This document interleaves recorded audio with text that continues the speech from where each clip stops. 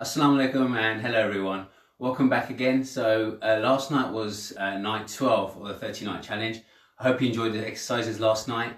Uh, tonight will be night 13. So the video will be uploaded to YouTube uh, very shortly after this at 6 p.m. You're good to go for night 13.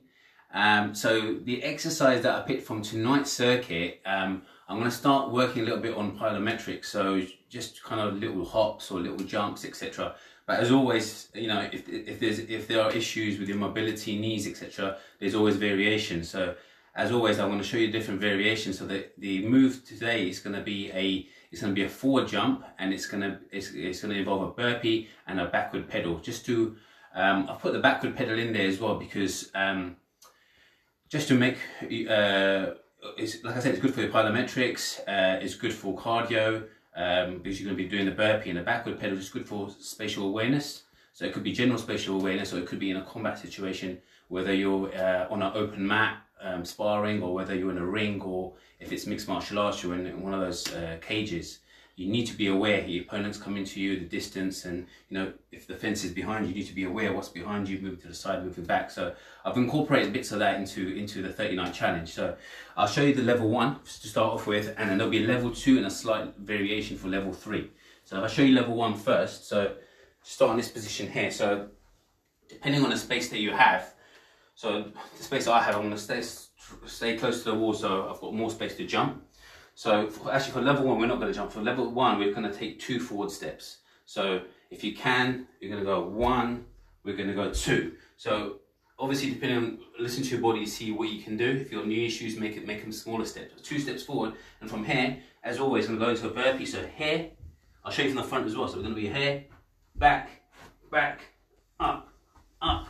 Then we're going to squeeze our glutes in a standing position, and then we're going to take two backward steps and back into position. So that's level one. So the burpee from the front, I've shown you the burpee before, but I'll show you from the front. So for level one, make sure your knees are slightly bent. Your hands are gonna go inside, just inside your uh, line of uh, your uh, toe, in the, your, your uh, big toe. Because if you start doing it from out here, you start getting uh, shoulder issues. So here, step back, step back. Make sure you get uh, engaging your core, step up, step up, stand up in a standing position here. Make sure you squeeze your glutes, your bottom, so you're working, you know, multiple muscle groups. So that, that was level one. So level two, so from here, again, uh, make sure your knees are slightly bent. You're gonna explode off your toes, and when you land, you're gonna try to land softly, but again, knees slightly bent. So we're here, engage your core, jump here in this position, and then you've got two options. So level two is gonna be the, the full burpee. So here, onto the floor, so that split second on the floor, then you're gonna hop back up onto your toes again, knees bent, squeeze your glutes, squeeze your glutes and quick backward two, two backward pedals. So for level three, from here, we're gonna jump. Rather than do the full burpee where you're touching the floor, we're gonna do the sprawl. So as I've shown you before, the sprawl is slightly harder because as you land into it, you're not you're not putting your body weight on the floor, you're landing on your uh, hands and your feet. So if I show you from the side position, we're gonna be here, we're gonna go sprawl here, it's a slight angle. So if you can see now, on my my I'm on my toes on my hands here. I'm not here for level two. So it's like a, almost like a press up and you're using your core, you're squeezing your glutes more. And from here, I'm gonna jump. Jump back up and quickly backward pedal into position again.